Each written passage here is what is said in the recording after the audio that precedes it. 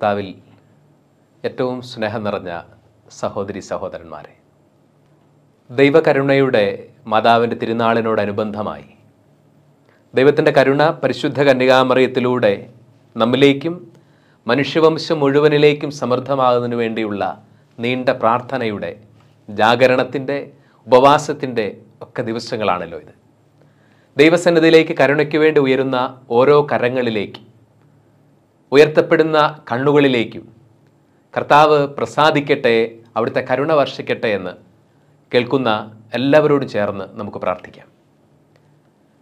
ദൈവത്തിന്റെ കരുണ ലോകത്തെ വീണ്ടെടുക്കാൻ മനുഷ്യവംശത്തെ അതിന്റെ സകല കഷ്ടതകളിൽ നിന്ന് വീണ്ടെടുക്കാൻ ആഗ്രഹിക്കുമ്പോഴും ഈ ദൈവകരുണ ജീവിതത്തിലേക്ക് കടന്നു വരുന്നതിന് കരുണയാൽ പുതപ്പിക്കപ്പെടുന്നതിനും വീണ്ടെടുക്കപ്പെടുന്നതിനും നമ്മുടെ ഒക്കെ ജീവിതത്തിലെ പ്രധാനപ്പെട്ട ഒരു ആത്മീയ തടസ്സത്തെക്കുറിച്ചാണ് ഇന്ന് നമ്മൾ ചിന്തിക്കുന്നതും ധ്യാനിക്കുന്നതും. വിശുദ്ധ ഗ്രന്ഥത്തിലെ പാപങ്ങളുടെ പട്ടികയിൽ ഏറ്റവും പ്രധാന സ്ഥാനത്ത് വരുന്നതും ആത്മാവിനെ ദൈവത്തിന്റെ അനന്ത നന്മയിൽ നിന്നും മഹാകരുണയിൽ നിന്നും അകറ്റുന്നതുമായ ആ മാരകമായ പാപാവസ്ഥയാണ് അഹങ്കാരം എന്ന തിന്മ. പ്രിയപ്പെട്ട സഹോദരങ്ങളെ വിശുദ്ധ ഗ്രന്ഥം നമുക്ക് ധാരാളം മനുഷ്യരുടെ ജീവചരിത്രങ്ങൾ നമ്മുടെ മുമ്പിൽ അവതരിപ്പിക്കുന്നുണ്ട്. ആദം മുതലുള്ള മനുഷ്യവംശത്തിന്റെ ആദ്യ ആളുകൾ മുതൽ നിരവധി ആളുകളുടെ ജീവകഥ വേദപുസ്തകം നമ്മളോട് പറയുന്നുണ്ട്. പൗലുഷപ്പസ്തോലൻ കോറിന്തോസ് ലേഖനത്തിന്റെ പത്താം അധ്യായത്തിൽ ഇങ്ങനെ വിശുദ്ധ ഗ്രന്ഥത്തിൽ എന്തിനാണ് വ്യക്തികളെയും സംഭവങ്ങളെയും വിവരിക്കുന്നത് എന്നുള്ളതിന് ഇങ്ങനെ ഒരു വ്യാഖ്യാനം നൽകുന്നുണ്ട്. നമുക്കൊരു പാഠമാവാൻ വേണ്ടിയിട്ടാണ് അവ രേഖപ്പെടുത്തിയിട്ടുള്ളത് എഴുതിയിട്ടുള്ളതെന്നാണ്. അപ്പോൾ വിശുദ്ധ ഗ്രന്ഥത്തിലെ വ്യക്തികളും അവരുടെ ജീവിത കഥകളുമെല്ലാം നമുക്ക് പാഠമാണെങ്കിൽ മനുഷ്യവംശത്തിന്റെ പതനകഥ പോലും ആരംഭിക്കുന്നത് മനുഷ്യന്റെ ഉള്ളിലെ അഹങ്കാര ചിന്തയിൽ നിന്ന് വലുതാവാനുള്ള ചിന്തയിൽ നിന്നാണെന്ന് മനസ്സിലാക്കേണ്ടതുണ്ട് നമ്മൾ. മാലാഖമാരുടെ ഉത്ഭവത്തെക്കുറിച്ച് യഹൂദ ലോകത്തുണ്ടായിരുന്ന ഒരു വിശ്വാസം ദൈവത്തെ അനുസരിക്കുന്നത് കുറച്ചിലായി കരുതിയ മാലാഖമാരെ അഹങ്കാരം കൊണ്ട് നിറഞ്ഞ സ്വർഗവാസികളാണ് പിശാചുക്കളായി രൂപപ്പെട്ടത്. ദൈവം അവരെ സ്വർഗത്തിൽ നിന്ന് പുറത്താക്കിയത് എന്നൊരു പാരമ്പര്യമുണ്ട്. അതിനെ പിൻചെന്ന് വിശുദ്ധ ആഗസ്റ്റനസ് പുണ്യാളം പറയും is pride that made angels demon and it's humility that makes man angel അഹങ്കാരമാണ് മാലാഖമാരെ പിശാചുക്കളാക്കിയതെങ്കിൽ എളിമയാണ് മനുഷ്യരെ മാലാഖമാരാക്കുന്നത് സ്വർഗത്തിന് യോഗ്യരാക്കി മാറ്റുന്നത്. മനുഷ്യരെ സ്വർഗവാസികളാക്കുന്നത് എളിമയാണ് എന്നുള്ള മനോഹര സന്ദേശം വേദപുസ്തകത്തിൽ നമ്മൾ വായിക്കും. അങ്ങനെ മനുഷ്യന്റെ ഉള്ളിലെ രൂഢമൂലമാവുന്ന അഹങ്കാരം എന്ന തിന്മയ്ക്ക് വലുതാകാനുള്ള മോഹത്തിന് ദൈവം തന്ന ഏറ്റവും മനോഹരമായ മരുന്നാണ് ദിവ്യകാരുണ്യം എന്ന് പറയുന്നത്.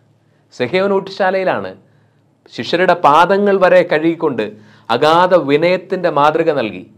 പരസ്പരം മത്സരിച്ചും തർക്കിച്ചും ആരാണ് വലിയവനെന്ന് കണ്ടെത്താൻ ശ്രമിച്ച ശിഷ്യരോട് അഗാധ സ്നേഹത്തിന്റെ മാതൃക കാണിച്ചുകൊണ്ട് വിശുദ്ധ കുർബാന സ്ഥാപിക്കുന്നിടത്താണ് എളിമയുടെ ആഴങ്ങൾ ദൈവം മനുഷ്യന് പരിചയപ്പെടുത്തി കൊടുക്കുന്നു അങ്ങനെയിൽ ദൈവം പരിചയപ്പെടുത്തിയ എളിമയുടെ ആഴങ്ങളും എളിമയിലൂടെ കിട്ടുന്ന ദൈവത്തോടുള്ള സഹവാസമൊക്കെ ഇന്ന് നമുക്ക് നഷ്ടമാവുന്നത്.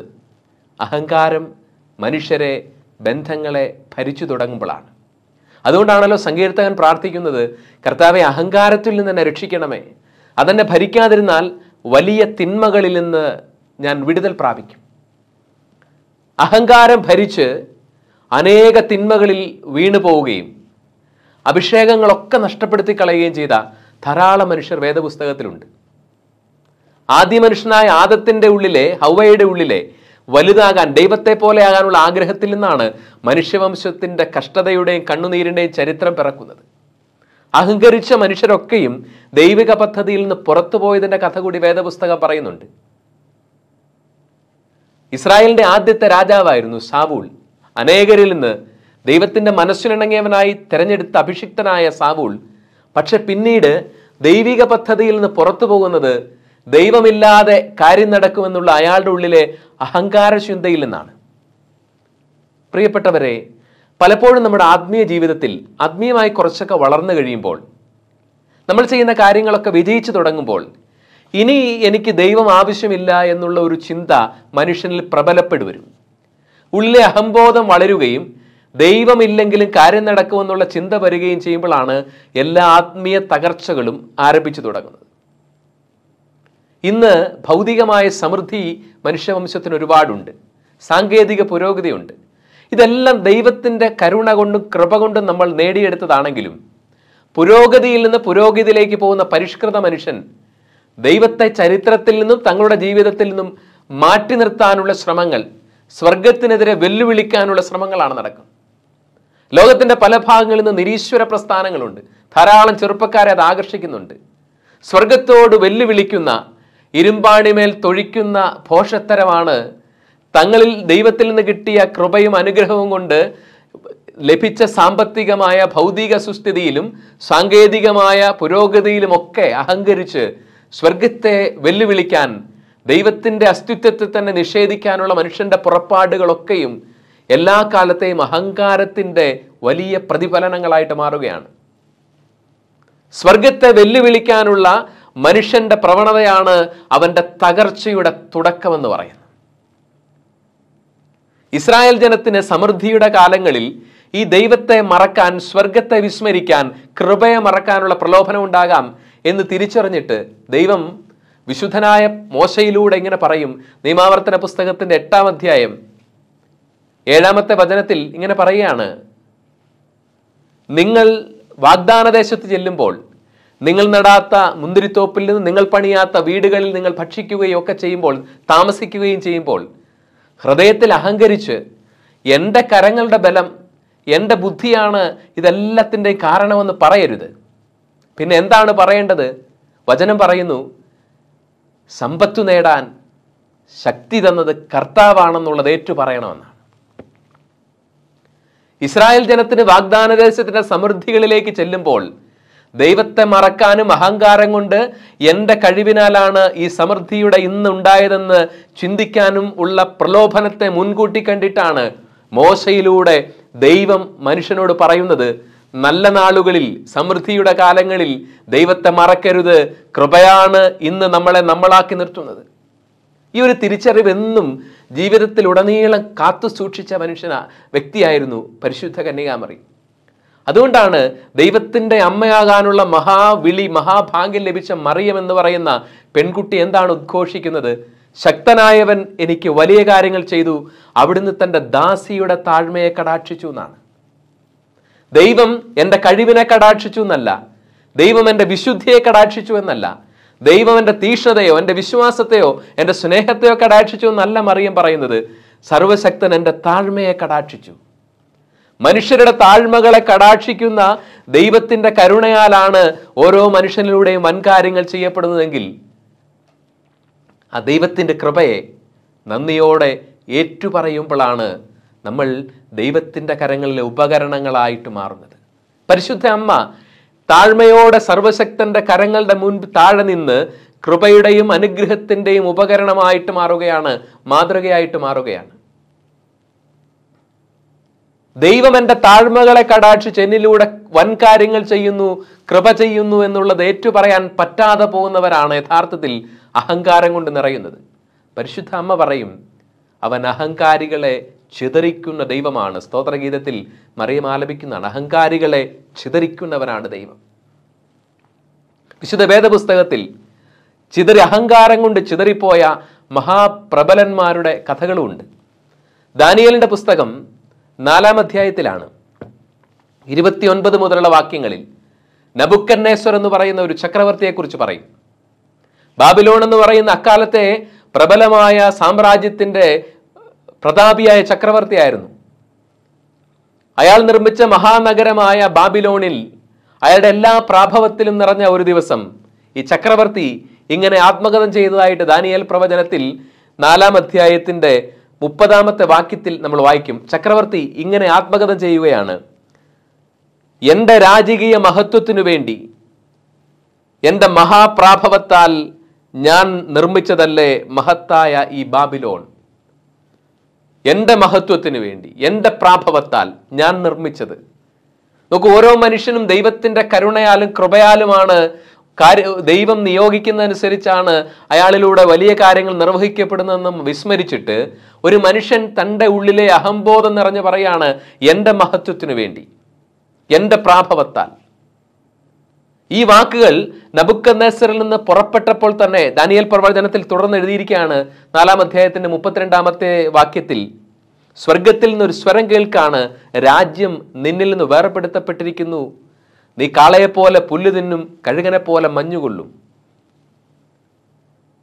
അത്യുന്നതനാണ് മനുഷ്യരെ സാമ്രാജ്യങ്ങളെ നിയന്ത്രിക്കുന്നതെന്ന് നീ അറിയുന്നതുവരെ നീ സർവരാലും വിസ്മരിക്കപ്പെടും. നബുക്കദ്നേസറിന് എല്ലാം നഷ്ടപ്പെട്ട് അയാൾ നിസ്സാരനും നിസ്സഹായനുമായി മാറിയത് അഹങ്കാരം കൊണ്ട് സർവശക്തന്റെ കരങ്ങളെ വിസ്മരിച്ചപ്പോഴാണ് അഹങ്കാരികളെ ചിതറിക്കുന്ന ദൈവത്തെയാണ് വേദപുസ്തകം പരിചയപ്പെടുത്തുന്നത്. അതുകൊണ്ട് തന്നെ പ്രഭാഷകന്റെ പുസ്തകം മൂന്നാം അധ്യായത്തിന്റെ പതിനെട്ട് മുതലുള്ള വാക്യങ്ങളിൽ നമ്മളിങ്ങനെ വായിക്കും. നീ എത്രമാത്രം ഉന്നതനാണോ അത്രമാത്രം വിനീതനാവുക. നമ്മളിലൂടെ ദൈവം കൃപയുടെയും അനുഗ്രഹത്തിന്റെയും പ്രവൃത്തികളൊക്കെ ചെയ്യും തോറും മറിയത്തെ പോലെ ഇത് കർത്താവിന്റെ താഴ്മയെ കടാക്ഷിച്ചതിന്റെ ഫലമാണ് എന്ന് തിരിച്ചറിഞ്ഞ് ദൈവസന്നിധിയിൽ വിനീതരാകുന്നവരിലൂടെയാണ് വീണ്ടും വീണ്ടും ദൈവത്തിന്റെ കൃപ ഒഴുകുകയും വലിയ കാര്യങ്ങൾ ചെയ്യുകയും ചെയ്യുന്നത്. അഹങ്കാരം ഭരിച്ചു തുടങ്ങിയതിന്റെയും ദൈവത്തെ പോലും മറന്നതിന്റെ ഫലമായിട്ടാണ് ഫലസമൃദ്ധമായിരുന്ന പല ജീവിതങ്ങളും ഇന്ന്. അഭിഷേകമൊഴുകിയിരുന്ന പല ശുശ്രൂഷകരും ഇന്ന് ഊഷര നിലങ്ങളായി വെള്ളമില്ലാത്ത അരുവികൾ പോലെ വറ്റി വരണ്ടു പോയതിന്റെ കാരണം കർത്താവിന്റെ കൃപയെ മറന്ന് തങ്ങളുടെ തന്നെ കഴിവുകളിൽ അവർ അഹങ്കരിച്ചതിന്റെയും സ്വന്തം പ്രാഭവത്താലും ബലത്താലും നടന്ന കാര്യങ്ങളാണിതെന്നൊക്കെ നബുക്കന്നേസറിനെ പോലെ പറഞ്ഞു തുടങ്ങിയപ്പോഴും ചിലപ്പോഴാണ്. ജലസമൃദ്ധിയുള്ള അരുവി പോലെ ഒരു ആത്മീയ ജീവിതം എപ്പോഴാണ് നിലനിൽക്കുന്നത്? അത് കൃപയുടെ ഒഴുക്കിനെ എന്നും വിനയത്തോടെ ഏറ്റുപറയുകയും അത്യുന്നതനന്റെ താഴ്മകളെ കടാക്ഷിക്കുന്നുവെന്ന് നന്ദിയോടെ മറിയത്തെ പോലെ അത് അംഗീകരിക്കുകയും ചെയ്യുമ്പോഴാണ്.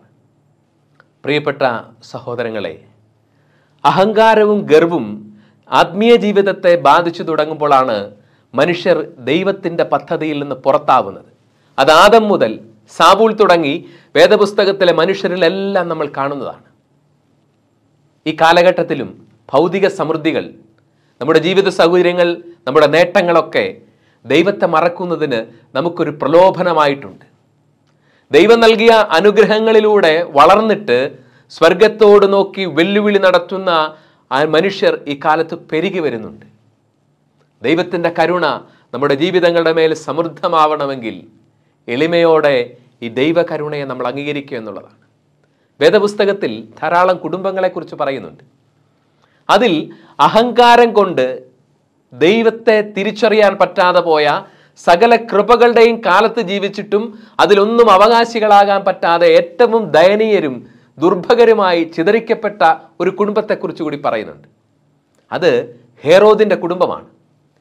ഈ ഭൂമിയിലേക്കും വെച്ച് ഏറ്റവും ഭാഗ്യപ്പെട്ട ഒരു സമയത്ത് കാലത്ത് ജീവിച്ച കുടുംബമാണത്. ദൈവം മനുഷ്യ ചരിത്രത്തിലേക്ക് ഇറങ്ങി വന്ന കാലസമ്പൂർണത എന്ന് പൗലോസ്ലിയ വിശേഷിപ്പിച്ച ആ കാലത്ത് ജീവിച്ച കുടുംബമാണ് മഹാനായ ഹെറോദ്. യേശു ജനിക്കുന്ന അയാളുടെ കാലത്താണ്. പിന്നീട് അയാളുടെ മകൻ ഹെറോദ് അന്തിപ്പാസ് ബി സി നാല് മുതൽ മുപ്പത്തിയേഴ് വരെ ക്രിസ്തുവിന്റെ പരസ്യ ജീവിതകാലത്തും പീഡാനസഹന മരണ ഉത്ഥാന കാലത്തും ഏതാനും വിളിപ്പുറത്തകലെ ജീവിച്ച മനുഷ്യനായിരുന്നു അയാൾ. അയാളുടെ കൺമുമ്പിലാണ് മാംസം ധരിച്ച വചനം അയാൾ അടയാളങ്ങളിലൂടെയും അത്ഭുതങ്ങളിലൂടെയും പ്രവർത്തിച്ച് കടന്നുപോയത് അയാളുടെ കൺമുമ്പിലാണ് അവന്റെ മഹത്തായ പീഡാസഹനവും ഉത്ഥാനവും നടന്നത്. അയാളുടെ മകനായിരുന്നു ഹെറോദ് അഗ്രിപ്പ ഒന്നാമൻ. അപ്പസ്വലന യാക്കോബിനെ തലവെട്ടി കൊന്നുകളഞ്ഞ അപ്പസ്തോല സഭയെ പീഡിപ്പിച്ച മനുഷ്യനായിരുന്നു അഗ്രിപ്പ ഒന്നാമൻ. അയാളുടെ കൺമുമ്പിൽ സുവിശേഷം സർവ മനുഷ്യർക്കും വേണ്ടിയുള്ള വിമോചനത്തിന്റെ സദ്വാർത്ത പ്രഘോഷിക്കപ്പെട്ടതാണ്. പക്ഷേ അയാളത് കേട്ടില്ല. അയാളുടെ മകനായിരുന്നു ഹെറോദ് അഗ്രിപ്പ രണ്ടാമൻ. അയാളുടെ കാലത്ത് ജുരുസലമിലെ ഭീകര മതമർദ്ദനങ്ങൾ കൊണ്ട് അപസ്തോല സഭ ലോകത്തിന്റെ പല ഭാഗങ്ങളിലേക്ക് ചിതറിപ്പോവാൻ നിർബന്ധിക്കപ്പെട്ടു. തങ്ങളുടെ കാലത്ത് കൺമുമ്പിൽ വിളിപ്പുറത്ത് ദൈവമുണ്ടായിട്ടും ആ ദൈവത്തെ തിരിച്ചറിയാൻ ഈ തലമുറയിൽ ഒരുത്തർക്കും പറ്റിയില്ല. ഹെറോദ് കുടുംബത്തിലെ ആർക്കും ദൈവത്തെ തിരിച്ചറിയാൻ പറ്റാതെ പോയത് ഈ മനുഷ്യരിൽ ഒന്നൊഴിയാതെ സകലരും അഹങ്കാരത്തിന്റെ ആൾരൂപങ്ങളായിരുന്നു. അഹങ്കാരത്തിന്റെ ആൾരൂപങ്ങളായി തങ്ങളുടെ അഹങ്കാരത്തിൽ നിന്ന് സകല അശുദ്ധികളിലും മ്ലേച്ഛതകളിലും ഒഴുകി ജീവിച്ച ഈ തലമുറയിലെ നാലു രാജാക്കന്മാരും ഏറ്റവും ദാരുണമായ ഏറ്റവും നിർഭാഗ്യകരമായ ജീവിതാന്ത്യങ്ങളിലൂടെ കടന്നു പോവുകയും ഒരു കുടുംബം തന്നെ പ്രാഭവത്തിലും മഹത്വത്തിലും ഉണ്ടായിരുന്ന ഒരു കുടുംബം തന്നെ ചരിത്രത്തിൽ നാമാവശേഷമാവുകയും ചെയ്യുക. ഹെറോദ് കുടുംബം തരുന്ന ഒരു പാഠമുണ്ട്. കൃപയുടെ കാലത്ത് ജീവിച്ചിട്ടും എന്തുകൊണ്ടാണ് കൃപയാൽ സ്നാനപ്പെടാതെ പോകുന്നത്? ദൈവത്തെ കൺമുമ്പിൽ കാണാനും തൊടാനും പറ്റുന്ന ഒരു കാലത്ത് ജീവിച്ചിട്ടും എന്തേ രക്ഷയുടെ അവകാശികളാകാതെ പോയി? സകല മനുഷ്യർക്കും വേണ്ടി ഒരുക്കിയ രക്ഷ കൺമുമ്പിലുണ്ടായിട്ടും എന്തുകൊണ്ട് അവരത് കാണാതെ പോയി? ആത്മീയ സന്തോഷം പ്രാപിക്കാതെ പോയി. ദൗർഭാഗ്യകരമായ നിരാശയിലും ഏറ്റവും മ്ലേച്ഛതകളിലും തകർച്ചയിലും അകപ്പെട്ട് ജീവിതങ്ങൾ നാശത്തിലൂടെ കടന്നുപോയി. ഒറ്റ കാരണമേ ഉള്ളൂ. ഉള്ളിലെ പെരുകിയ മല പോലെ വളർന്ന അഹംബോധമാണ്. ഈ അഹംബോധം കൊണ്ടാണ് മനുഷ്യർ ഇന്നും പറുദീസയുടെ കവാടങ്ങളിൽ നിന്ന് രക്ഷയുടെ അനുഭവങ്ങളിൽ നിന്ന് വിമോചനത്തിന്റെ അനുഭവങ്ങളിൽ നിന്ന് അകറ്റപ്പെടുന്നത്. ദൈവത്തിന്റെ മഹാകരുണ സമൃദ്ധമായ ഈ അന്ത്യകാലത്ത് മനുഷ്യർ ആ കരുണയുടെ അവകാശികളാകാതെ പോകുന്നുണ്ടെങ്കിൽ അതിന്റെ കാരണം പെരുകുന്ന അഹംബോധമാണ്. അഹംബോധം കൊണ്ടാണ് ദൈവമില്ലെന്നുള്ള വിശ്വാസം ഭാഷനായി കൊണ്ട് നടന്ന് സകല നഗരങ്ങളിലും ടൗൺ ഹാളുകളിലും ദൈവത്തിനെതിരെ വൻപ് പറയുന്നവരുടെ യോഗങ്ങൾ സംഘടിപ്പിച്ച് സ്വർഗത്തെ വെല്ലുവിളിക്കുന്ന മൂഢസ്വർഗത്തിലുള്ള ആളുകൾ പെരുകുന്നത് ഈ അഹംബോധം കൊണ്ടാണ്. കൃപ എത്രമേൽ വളർന്നാലും കരുണ എത്രമേൽ നിന്നെ സ്പർശിക്കുന്നതിന് വേണ്ടി വർഷിക്കപ്പെട്ടാലും എളിമയില്ലെങ്കിൽ അഹങ്കാരം കൊണ്ട് നിറഞ്ഞാൽ ഈ കരുണ നമുക്ക് ലഭിക്കാതെ പോകും. നിർഭാഗ്യരായി ചരിത്രത്തിൽ നിന്ന് കടന്നു പോകേണ്ടി വരും. ദൈവത്തിന്റെ കരുണയോട് സഹകരിക്കുന്നത് എങ്ങനെയാണ്? എളിമയുള്ള ഒരു ഹൃദയത്തിലൂടെയാണ്. അതുകൊണ്ടാണ് വേദപുസ്തകത്തിലെ ആത്മീയ മനുഷ്യരൊക്കെയും പ്രാർത്ഥിക്കുന്നത് ദൈവമേ എളിമയുള്ള ഒരു മനസ്സു തരണമേ. ഔന്നത്യത്തിൽ അഹങ്കരിക്കാതെ നിസാരത ഏറ്റുപറയാനുള്ള ഒരുക്കമുള്ള ഹൃദയം തരണമേ. പ്രിയപ്പെട്ട സഹോദരങ്ങളെ പരിശുദ്ധ അമ്മയിലൂടെ സമൃദ്ധമാവുന്ന ദൈവത്തിന്റെ കരുണ നമ്മുടെ ഹൃദയങ്ങൾ ഭവനങ്ങൾ സമൂഹം അനുഭവിക്കുന്നതിന് ദൈവസന്നിധിയിൽ നമുക്ക് എളിമപ്പെടാനും നമ്മളെ ഭരിക്കുന്ന അഹംബോധത്തിൽ നിന്ന് വിടുതൽ പ്രാപിക്കാനും നമുക്ക് ആഗ്രഹിക്കുകയും വിശുദ്ധീകരിക്കുന്ന ദൈവത്തിന്റെ ശക്തി നമ്മിലേക്ക് കടന്നു വരാൻ പ്രാർത്ഥിക്കുകയും ചെയ്യാം. പരിശുദ്ധ അമ്മയെപ്പോലെ ജീവിതത്തിന്റെ സമൃദ്ധികളുടെ എല്ലാം മുമ്പിൽ നിന്നിട്ട് നമുക്ക് ഏറ്റുപറയാം സർവശക്തൻ ഈ ദാസിയുടെ താഴ്മയെ കടാക്ഷിച്ചു. പ്രിയപ്പെട്ട ദൈവമക്കളെ അപസ്തോല പ്രവർത്തനം പതിനേഴാം അധ്യായത്തിന്റെ ഇരുപത്തെട്ടാം വാക്യത്തിൽ നമ്മളിങ്ങനെ വായിക്കുന്നു. നാം അവിടുന്നിലായിരിക്കുന്നു അവിടുന്ന് ചരിക്കുന്നു അവിടുന്ന് നിലനിൽക്കുന്നു. നമ്മളായിരിക്കുന്നതും ചലിക്കുന്നതും പ്രവർത്തിക്കുന്നതും നിലനിൽക്കുന്നതുമെല്ലാം സർവശക്തന്റെ കൃപയുടെ തണലിലാണെന്ന് ഏറ്റുപറയുന്നതാണ് ആത്മീയതയുടെ ഏറ്റവും വിശുദ്ധമായ അടയാളങ്ങളും ദൈവകരുണയുടെ മാതാവായ പരിശുദ്ധ മറിയത്തോട് ചേർന്ന് നമ്മിൽ എളിമയുടെ ഒരു ആത്മീയ ശൈലി അഹങ്കാരത്തിന്റെ സകല ഭാവങ്ങളുടെ മേൽ വളർന്നു വരാനുള്ള കൃപയ്ക്ക് വേണ്ടി നമുക്ക് ചേർന്ന് പ്രാർത്ഥിക്കാം. ഓ പരിശുദ്ധ മറിയമേ അമ്മയുടെ വിമല ഹൃദയത്തിന്റെ പ്രതിഷ്ഠയിൽ എനിക്ക് ലഭിച്ച കൃപകൾ ഞാൻ കണ്ടുമുട്ടുന്നവരോട് പ്രഘോഷിക്കുവാനും സ്നേഹത്തോടും സാഹോദര്യത്തോടും കൂടി അത് പ്രകടിപ്പിക്കുവാനും എന്നെ സഹായിക്കണമേ. സാത്താൻ മറ്റുള്ളവരുടെ തെറ്റുകൾ പൊലിപ്പിച്ചു കാട്ടി അവരെ വിമർശിക്കാനുള്ള പ്രലോഭനങ്ങൾ എന്നിലുളവാക്കുമ്പോൾ അവരും കുറവുകളുള്ള ഓരോ മനുഷ്യരും ദൈവത്താൽ സ്നേഹിക്കപ്പെടുകയും പരിപാലിക്കപ്പെടുകയും വത്സല മക്കളെന്നോണം താലോലിച്ച് വളർത്തപ്പെടുന്നവരാണെന്നുള്ള ബോധ്യം എന്നിൽ ഉളവാക്കണമേ. സാത്താന്റെ മായോമോഹങ്ങളിലും തന്ത്രങ്ങളിലും നിന്ന് എന്റെ ആത്മാവിനെയും എന്റെ വ്യാപാരങ്ങളെയും കാത്തുകൊള്ളണമേ. ഞാൻ കണ്ടുമുട്ടുന്ന ഓരോ വ്യക്തിയുമായി ചേർന്ന് അങ്ങയുടെ വിജയത്തിനായി അധ്വാനിക്കുവാൻ എന്നെ ശക്തിപ്പെടുത്തണമേ. പരിശുദ്ധ അമ്മയെ പരിശുദ്ധാത്മാവിന്റെ ചലനം വഴി എന്നിലുണ്ടാവുന്ന തീവ്രാഭിനിവേശം എന്റെ ഹൃദയത്തിൽ ഒരു രൂപാന്തരം സൃഷ്ടിച്ച് സ്നേഹത്തിന്റെയും ഐക്യത്തിന്റെയും അങ്ങയുടെ വിജയം എന്നിലൂടെ സുനിശ്ചിതമാക്കട്ടെ. പിതാവിന്റെയും പുത്രന്റെയും പരിശുദ്ധാത്മാവിന്റെ നാമത്തിൽ ആമേൻ.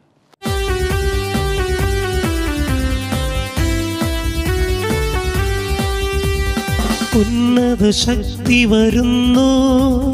ദൈവപിതാവിൻ ശക്തി. ഉന്നത ശക്തി വരുന്നു. ദൈവപിതാവിൻ ശക്തി. എന്തൊരു ശക്തി അത്ഭുത ശക്തി. പരിശുദ്ധാത്മശക്തി. എന്തൊരു ശക്തി അത്ഭുത ശക്തി പരിശുദ്ധാത്മശക്തി. ഉന്നത ശക്തി വരുന്നു ദൈവപിതാവിൻ ശക്തി. ഉന്നത ശക്തി വരുന്നു ദൈവപിതാവിൻ ശക്തി.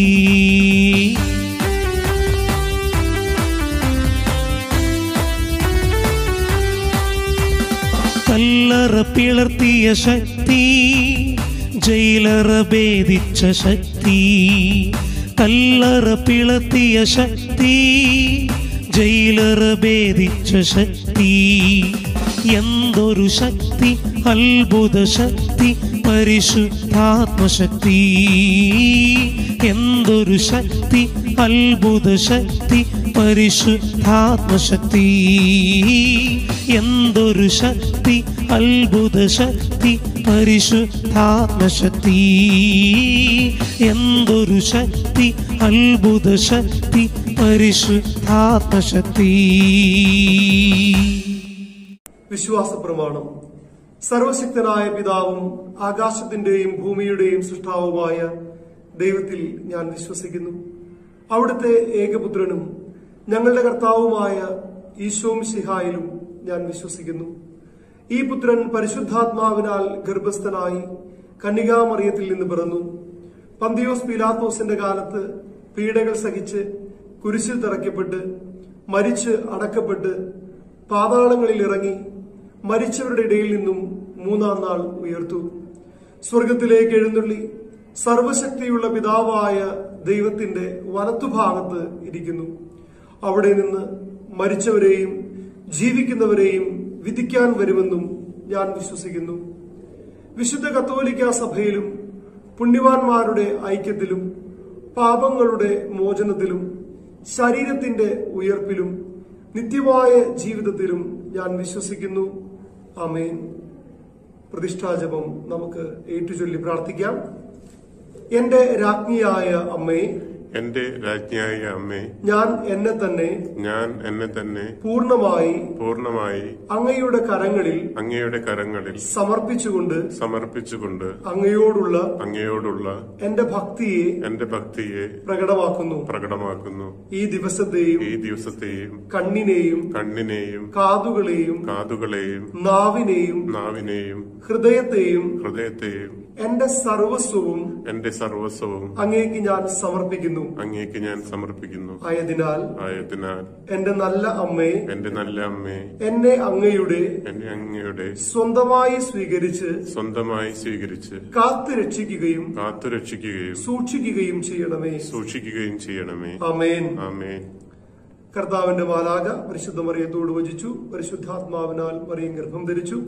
നന്മ നിറഞ്ഞ മറിയമേ നിനക്ക് സ്വസ്തി. കർത്താവ് അങ്ങയോടുകൂടെ സ്ത്രീകളിൽ അങ്ങ് അനുഗ്രഹിക്കപ്പെട്ടവളാകുന്നു. അങ്ങയുടെ ഉദരത്തിന്റെ ഫലമായ യേശു അനുഗ്രഹിക്കപ്പെട്ടവനാകുന്നു. പരിശുദ്ധ മറിയമേ തമ്പുരാന്റെ അമ്മേ പാപികളായ ഞങ്ങൾക്ക് വേണ്ടി എപ്പോഴും ഞങ്ങളുടെ മരണസമയത്തും തമ്പുരാനോട് അപേക്ഷിച്ചു കൊള്ളണമേ. ആമേൻ. ഇതാ കർത്താവിന്റെ ദാസി. നിന്റെ വചനം പോലെ എന്നിൽ ഭവിക്കട്ടെ. നന്മ നിറഞ്ഞ മറിയമേ നിനക്ക് സ്വസ്തി. കർത്താവ് അങ്ങയോടുകൂടെ സ്ത്രീകളിൽ അങ്ങ് അനുഗ്രഹിക്കപ്പെട്ടവളാകുന്നു. അങ്ങയുടെ ഉദരത്തിന്റെ ഫലമായ ഈശോ അനുഗ്രഹിക്കപ്പെട്ടവരാകുന്നു. പരിശുദ്ധ മറിയമേ തമ്പുരാന്റെ അമ്മേ പാപികളായ ഞങ്ങൾക്ക് വേണ്ടി എപ്പോഴും ഞങ്ങളുടെ മരണസമയത്തും തമ്പുരാനോട് അപേക്ഷിച്ചു കൊള്ളണമേ ആമേ വചനം മാംസമായി നമ്മുടെ ഇടയിൽ വസിച്ചു. നന്മ നിറഞ്ഞ മറിയമേ നിനക്ക് സ്വസ്തി. കർത്താവ് അങ്ങയോടുകൂടെ സ്ത്രീകളിൽ അങ്ങ് അനുഗ്രഹിക്കപ്പെട്ടവളാകുന്നു. അങ്ങയുടെ ഉദരത്തിന്റെ ഫലമായി യേശു അനുഗ്രഹിക്കപ്പെട്ടവനാകുന്നു. പരിശുദ്ധ മറിയമേ തമ്പുരാന്റെ അമ്മേ പാപികളായ ഞങ്ങൾക്ക് വേണ്ടി എപ്പോഴും ഞങ്ങളുടെ മരണസമയത്തും തമ്പുരാനോട് അപേക്ഷിച്ചു കൊള്ളണമേ ആമേൻ. ഈശോം സിഹായുടെ വാഗ്ദാനങ്ങൾക്ക് ഞങ്ങൾ യോഗ്യരാകുവാൻ സർവേശന്റെ പരിശുദ്ധ മാതാവേ ഞങ്ങൾക്ക് വേണ്ടി അപേക്ഷിക്കണം പ്രാർത്ഥിക്കാം. സർവേശ്വര മാലാഖയുടെ സന്ദേശത്താൽ അങ്ങയുടെ പുത്രനായ ഈശോം മിശിഹായുടെ മനുഷ്യാവതാര വാർത്ത അറിഞ്ഞിരിക്കുന്ന ഞങ്ങൾ അവിടുത്തെ പീഡാനുഭവവും കുരിശുമരണവും മുഖേന ഉയർപ്പിന്റെ മഹിമ പ്രാപിക്കുവാൻ അനുഗ്രഹം നൽകണമെന്ന് ഞങ്ങളുടെ താവീശവും ശിയാ വഴി അങ്ങയോട് ഞങ്ങൾ അപേക്ഷിക്കുന്നു. ആമേൻ. പിതാവിനും പുത്രനും പരിശുദ്ധാത്മാവിനും സ്തുതി. അതിലെ പോലെ പിതാവിനും പുത്രനും പരിശുദ്ധാത്മാവിനും സ്തുതി. അതിലെ പോലെ പിതാവിനും പുത്രനും പരിശുദ്ധാത്മാവിനും സ്തുതി. അതിലെ പോലെ എപ്പോഴും നീക്കുവാമേ നമുക്ക് ഏറ്റുചൊല്ലി പ്രാർത്ഥിക്കാം. പരിശുദ്ധ മറിയമേ പരിശുദ്ധ മറിയമേ അങ്ങേക്ക് പ്രതിഷ്ഠിച്ചിരിക്കുന്ന അങ്ങേക്ക് പ്രതിഷ്ഠിച്ചിരിക്കുന്ന എന്റെ ഹൃദയം എന്റെ ഹൃദയം അങ്ങയുടെ സ്വന്തമാക്കണമേ. അങ്ങയുടെ സ്വന്തമാക്കണമേ. അങ്ങേക്കുള്ള കാഴ്ചവസ്തുവായി അങ്ങേക്കുള്ള കാഴ്ച വസ്തുവായി എന്റെ ഹൃദയത്തെ എന്റെ ഹൃദയത്തെ പിതാവായ ദൈവത്തിന് പിതാവായ ദൈവത്തിന് സമർപ്പിക്കണമേ. സമർപ്പിക്കണമേ. അങ്ങയുടെ ഹൃദയത്തെ അങ്ങയുടെ ഹൃദയത്തെ മറ്റുള്ളവർ അറിയുവാൻ മറ്റുള്ളവർ അറിയുവാൻ എന്നെ എന്നെ അങ്ങയുടെ ഒരു അങ്ങയുടെ ഒരു ഉപകരണമാക്കി മാറ്റണമേ. ഉപകരണമാക്കി മാറ്റണമേ. വിശ്വാസം വിശ്വാസം പ്രത്യാശ പ്രത്യാശ സ്നേഹം സ്നേഹം എളിമ എളിമ ക്ഷമ ക്ഷമ പരിശ്രമശീലം പരിശ്രമശീലം അനുസരണം അനുസരണം എന്നീ പുണ്യങ്ങളാൽ എന്നീ പുണ്യങ്ങളാൽ എന്നെ നിറയ്ക്കണമേ. എന്നെ നിറയ്ക്കണമേ. ഞാൻ പരിശുദ്ധാത്മാവിനാൽ ഞാൻ പരിശുദ്ധാത്മാവിനാൽ പൂരിതനാകുവാൻ പൂരിതരാകുവാൻ എനിക്കായി എനിക്കായി പ്രാർത്ഥിക്കുകയും ചെയ്യണമേ. ചെയ്യണമേ. പന്തകുസ്ത പ്രാർത്ഥന നമുക്ക് ഏറ്റുചൊല്ലി പ്രാർത്ഥിക്കാം. പരിശുദ്ധാത്മാവേ വരണമേ. പരിശുദ്ധാത്മാവേ വരണമേ. അങ്ങേ ഇഷ്ടദാസിയായ അങ്ങേ ഇഷ്ടദാസിയായ പരിശുദ്ധ മറിയത്തിന്റെ പരിശുദ്ധ മറിയത്തിന്റെ വിമല ഹൃദയത്തിന്റെ വിമല ഹൃദയത്തിന്റെ ശക്തമായ മധ്യസ്ഥത വഴി ശക്തമായ മധ്യസ്ഥത വഴി എന്നിൽ വന്ന് നിറയണമേ. എന്നിൽ വന്ന് നിറയണമേ. എന്നിൽ വസിച്ച് എന്നിൽ വസിച്ച് എന്നെ നയിക്കണമേ. എന്നെ നയിക്കണമേ. ക്രിസ്തുവിന്റെ ആത്മാവേ ക്രിസ്തുവിന്റെ ആത്മാവേ എന്നെ ചലിപ്പിക്കണമേ. എന്നെ ചലിപ്പിക്കണമേ. ക്രിസ്തുവിന്റെ ആത്മാവേ ക്രിസ്തുവിന്റെ ആത്മാവേ എന്നെ നിറയ്ക്കണമേ. എന്നെ നിറയ്ക്കണമേ. ക്രിസ്തുവിന്റെ ആത്മാവേ. ക്രിസ്തുവിന്റെ ആത്മാവേ. എന്നെ മുദ്രയടിക്കണമേ. എന്നെ മുദ്രയടിക്കണമേ. ഓ സ്വർഗസ്ഥനായ പിതാവേ. ഓ സ്വർഗസ്ഥനായ പിതാവേ. അങ്ങയുടെ ഹൃദയത്തിൽ അങ്ങയുടെ ഹൃദയത്തിൽ എന്നെ പ്രതിഷ്ഠിക്കണമേ. എന്നെ പ്രതിഷ്ഠിക്കണമേ. പുണ്യങ്ങളുടെ ഒരു ഉറവ പുണ്യങ്ങളുടെ ഒരു ഉറവ എന്നിൽ സൃഷ്ടിക്കണമേ. എന്നിൽ സൃഷ്ടിക്കണമേ. എന്റെ ആത്മാവിനെ എന്റെ ആത്മാവിനെ അങ്ങയുടെ സ്വന്തമായി അങ്ങയുടെ സ്വന്തമായി മുദ്ര കുത്തണമേ മുദ്ര കുത്തണമേ അങ്ങനെ ഞാൻ അങ്ങനെ ഞാൻ അങ്ങയുടെ പ്രതിബിംബമായി അങ്ങയുടെ പ്രതിബിംബമായി മറ്റുള്ളവരുടെ മുന്നിൽ മറ്റുള്ളവരുടെ മുൻപിൽ പ്രകാശിക്കുവാൻ പ്രകാശിക്കുവാൻ കൃപ തരണമേ. കൃപ തരണമേ. ആമേൻ. ആമേൻ. നമ്മുടെ കർത്താവിശ്വവും ശ്രീയാട് കൃപയും പിതാവായ ദൈവത്തിന്റെ സ്നേഹവും പരിശുദ്ധാത്മാവിന്റെ സഹവാസവും നാം എല്ലാവരോടും കൂടി ഉണ്ടായിരിക്കട്ടെ. ഇപ്പോഴും എപ്പോഴും എന്നേക്കും. ആമേൻ.